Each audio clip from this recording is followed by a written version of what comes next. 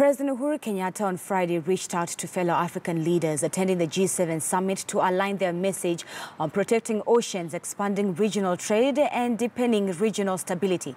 President Kenyatta met with President Macky Sall of Senegal and African Union chairperson Paul Kagame, who is Rwanda's president, ahead of the G7 outreach segment, uh, or rather segment. So today he is also is set to meet South African president as well as the Indian Ocean island nation of Seychelles.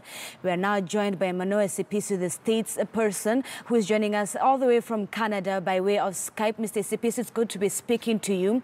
Um, as you've heard right there, uh, Mr. Kenyatta had a chance to meet with Paul Kagame as well as Senegalese President Macky Sall. What were the fruits that were born from this specific conversation? Yeah, thank you. Uh, yesterday's meetings were uh, twofold. One, to align the African messaging at the G7 uh, outreach event, which happens uh, this morning. Uh, but the second segment of that was also to deal with our bilateral issues. So let me start with the bilateral ones. Uh, with Senegal, uh, the, the president announced that we would be opening an embassy in Dakar within the next four months. That is aimed at boosting our people to people relations as well as boosting trade uh, between ourselves and uh, uh, Senegal in particular, but also with Francophonie West Africa. We do not have an embassy in French speaking uh, West Africa, and this will be the first one. So this is going to be uh, a major deal for us. Uh, the Senegalese president wants to improve trade between Kenya and Senegal, and we'll be looking at what it is we can export there and what it is they can import from us. Uh, we, uh, the president then discussed uh, the, the Blue Economy Summit coming up in Nairobi in November, uh, and, and looked at the basic things that need to be done in order for us to uh, consider that we're making progress. So one is our ocean governance, uh, ocean governance issues, maritime security issues, as well as dealing with illegal and unauthorized uh, fishing uh, within African waters. this is the same message that the president then took to President Kagame uh, who, as AU chair, is obviously concerned about the security of, of our maritime area. He's concerned about uh, Africans uh, getting greater value for their uh, for their maritime resources, and this is a matter that President Kenyatta completely uh, agrees with him.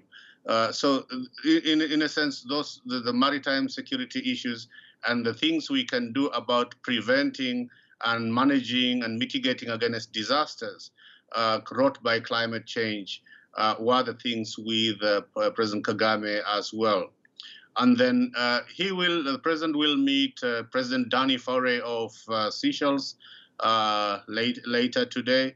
and you know, Seychelles is punching above its weight in terms of in terms of its managing of its oceans resources and it is uh, one country that we wish to partner with in terms of getting our fisheries uh, uh, going, especially in the agro processing area. The other key meeting the president had yesterday was with uh, the Prime Minister of Jamaica, uh, Prime Minister Andrew uh, Holness, and that meeting focused on improving trade between Kenya and Jamaica. Uh, and the first step of that would be to look at uh, the possibility of code sharing between the Jamaican Airlines and Kenya Airways uh, once Kenya Airways start flying to New York directly in October. The uh, big thing about that would be that Jamaica would use Kenya Airways as its entry point into Africa, uh, which would be a big win for us. And secondly, uh, Jamaica would like to see more cultural exchanges, more entertainment exchanges uh, between themselves and Kenya. Uh, so it wouldn't, it might not be too long before we start sending coaches to Jamaica for to look at uh, their short short races. As you know, they are sprint kings and queens, and we are distance runners. So we would see their coaches coming the opposite direction. All right, thank you so much, Esipisu. Manoah Esipisu, State House spokesperson, giving us an update of the G7 summit there. As you've had, a few of the new markets that Kenya is bagging is Jamaica, as well as also what Kenya will be doing in terms of security uh, when it comes to the world oceans, especially now as the world is marking World Ocean Day, as, as well as the role that Kenya will play when it comes to ocean pollution. Manoah Esipisu, they are giving us an update from Quebec. Um, of course, we'll be keeping an eye on this as it continues to unravel.